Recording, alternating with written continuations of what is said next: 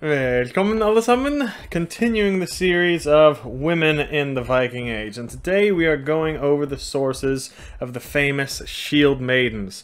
So most of you know my view on this, uh, but for this video I'm going to leave out my thoughts and uh, opinions and just go over the sources pretty much. Now I made this video specifically after I've done four other videos about women in the Viking Age and what their part of society was. Uh, so I would rather you go back and watch those if you haven't seen them already, just so you can get a good idea of what the reality was like. Women were the utmost protected members of society, along with children, elderly, and even slaves actually. We do have a small handful of accounts of women fighting or being put in some violent altercations. But we have hundreds, if not thousands, of records of women being moved away to safety before the violence started. The men from both sides shouting to each other, Hey, hey, let the women, let the women and children out, get them away before we start slaughtering each other. Eh, all right, okay, women, get out here, get out to this. All right, now we fight, okay? This is the reality. I've done so many videos on these attestations, and all you guys really have to do is read a few chapters of any Viking saga, and you will see this. This was the reality of the Viking Age. So, where do these shield maidens come from then, and how do they play into all this? How did they fit into this society? Heavily concerned with keeping women out of harm's way. So we're covering Shield Maiden specifically in this video, Skjoldmær or Skjoldmey, uh, and the pure attestations of that specific word in the literature, because this is something completely different than what you all know to be Shield Maidens, and this video will clear a lot of that up.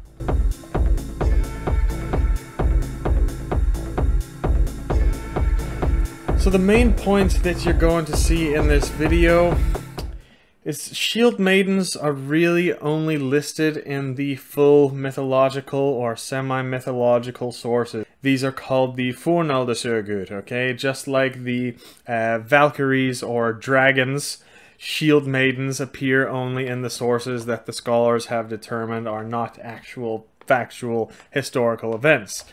I don't quite agree with that. I think that's oversimplifying it uh, a bit. These mythological texts, or these Fornaldarsögur, um, they have some reality to them always. You know, dragons and Valkyries, you know, although they are symbolic in nature, they could still be connected to actual events or spiritual practices or rituals. See my video that I did uh, on that for a full explanation. Uh, but shield maidens, um, seem to be the same type of thing. They are symbolic and mythological in nature, but based off of, you know, uh, somewhat real figures and practices in some distant past or even distant universe, but it's not a reality in the Viking Age. First example we have here in the Alexander Saga, an Old Norse translation of the epic poem about Alexander the Great, the Greek ruler um, for more than a thousand years before the Viking Age. And here the author who wrote down this book, this translation of the uh, you know Latin poem, this author in the 1300s uses uh, Shield Maiden as a translation for the Amazon women from the Greek mythology. So you kind of get the idea right there. According to this source and a couple of others that I'm going to go over, the Shield Maiden was in about the same reality of an island nation of only women and no men who whooped men's asses everywhere they went and they went and gave birth somehow magically to children like Wonder Woman and Xena Warrior Princess, okay? Now, I'm not saying that these Amazon women of ancient Greece um, uh, didn't exist, because we have some historians in, in the Greek uh, literature and, and history that have shown some evidence that there could be some reality to these stories of the Amazon women.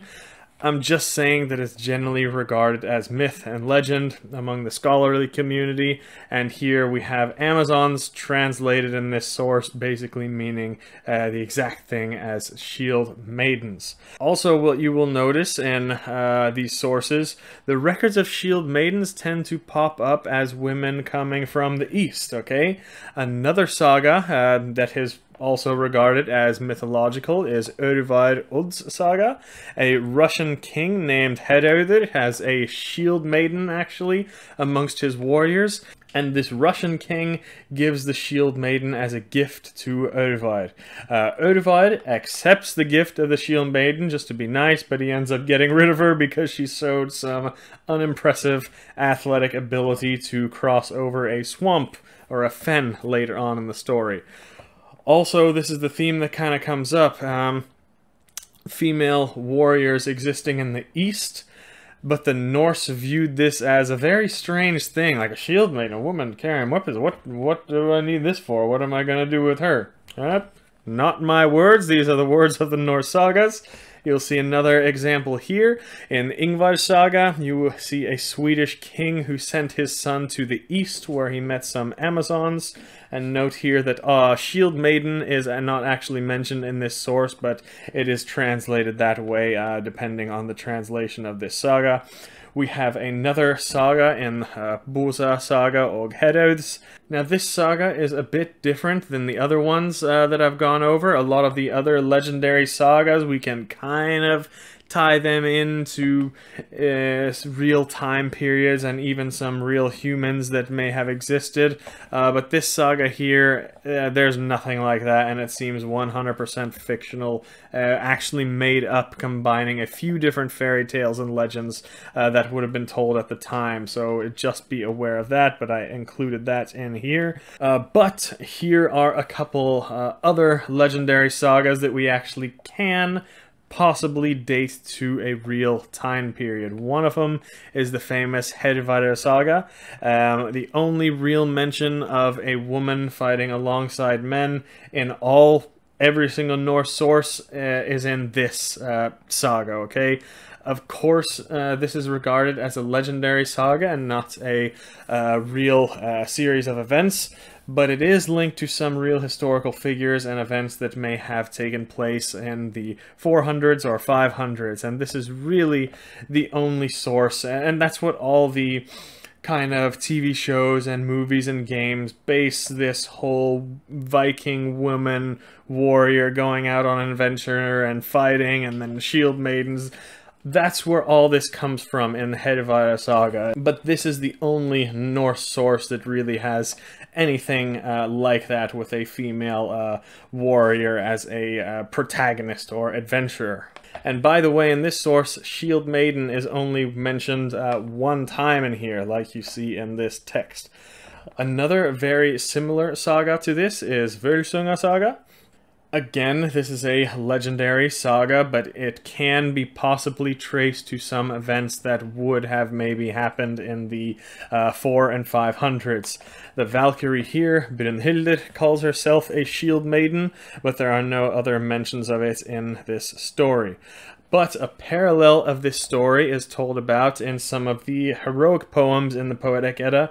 And we call these the Helgileiðs or the Sigurd cycle poems. Uh, one of them, this is actually the oldest one we think that we can date back to the uh, earliest time in the Viking Age. Uh, but the story, of course, tells of events that were supposed to have happened at the time of Attila the Hun in the 400s, 500s.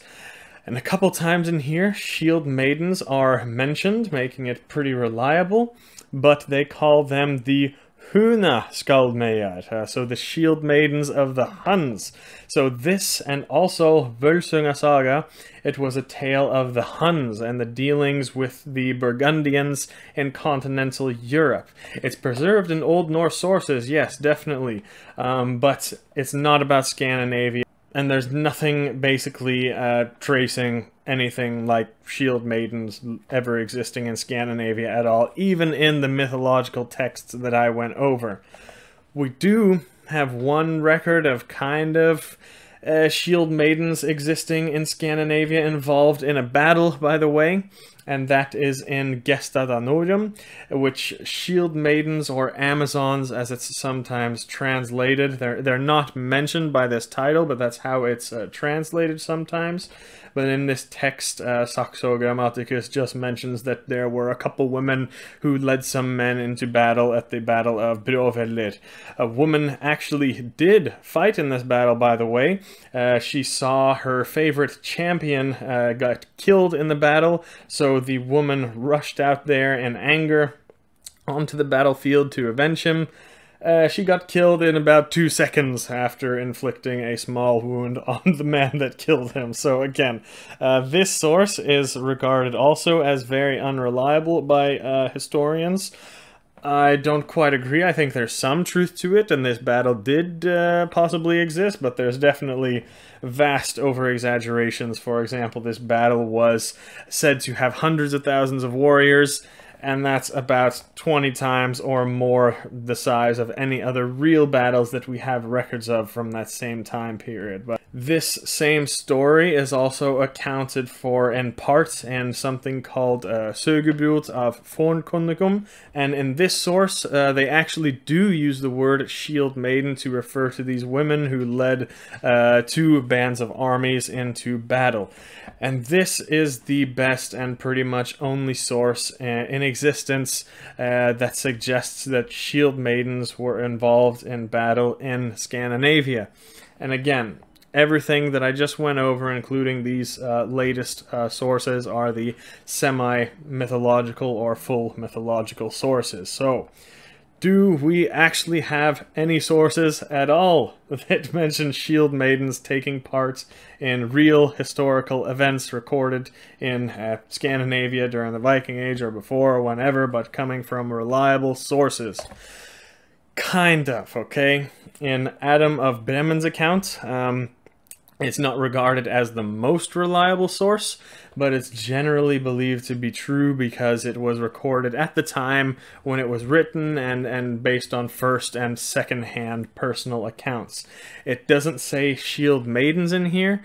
Uh, again, it says Amazon uh, women, um, as usual, you know, something that Scandinavian royalty encounters on their trips abroad in this source. We do have another saga that is regarded as pretty historically reliable, and that's Jomsvikinga saga. Um, it tells of the Icelandic poet in the 10th century. His name was Einar Skallagrim. Him we know existed. He was very, very real. And his nickname was said to be Skjaldmeyjar Einar, or Einar of the Shield Maidens. Um, what that means, who knows?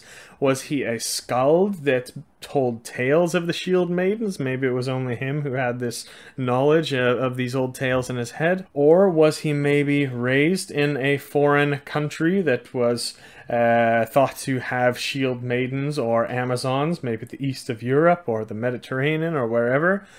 Or is the term Shield Maiden just a poetical metaphor here, you know, maybe referring to his style of storytelling? Who knows, but as usual, no Shield Maidens to be found in this source. We have another account of a saga that is also generally uh, regarded to be very reliable, and that's Sverris saga, a real historical saga of a king of Norway in the 11 and 1200s. And in here, there is Shield Maidens referred to, but the Shield Maiden is the name of a ship owned by a man named Oim. So that's it, guys. There are no real historical sources we know uh, uh, being 100% or even 50% accurate uh, that mention shield maidens existing in Viking Age Scandinavia. Even in the legendary and mythological sources, when we do see mentions of shield maidens, uh, they're said to be of fictional events, either coming from Scandinavia hundreds of years before the Viking Age, or thousands of years, referring to the Amazon warriors and ancient Greece or something like that, or just shield maidens from other countries. Like I said, Russia has numerous sources of something uh, referred to as shield maidens. That's the reality of it, guys, in the sources. Now, I'm not saying women didn't fight in the Viking Age. Of course, they could have at some points. We have sources for this, actually, of women involved in kind of violent confrontations, not battles, but yes, they did fight. Uh, and I do even think it's possible that women uh, accompanied men to battle on rare occasions. sometimes maybe to lead the army, sometimes even to give help and aid from the back of the battlefield. Maybe, I don't know, maybe something like the shield maidens would be responsible for bringing the shields out to the warriors, you know, and an equipment. You know, just like a beer maiden or an ale maiden brings the beer to the party, okay?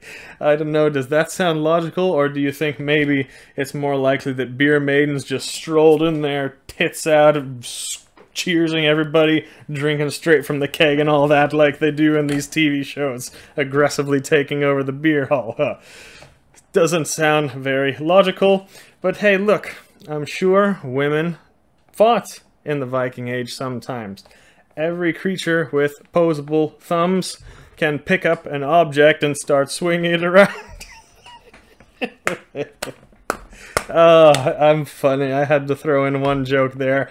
I've been good. I really have. I did this whole video without uh, being uh, biased. You gotta let me have at least one joke at the end, okay? But I hope these sources have given you guys a better idea of shield maidens and the sources and what society back then was actually like. The next video, I'm going to go over the sources of women involved in violent altercations, and I will give my final biased opinions in that one. So that one will not be for the easily offended, but that one will come probably in the next couple months. But so I hope you enjoyed this one at least. That's all for today. Vi ses nästa gång.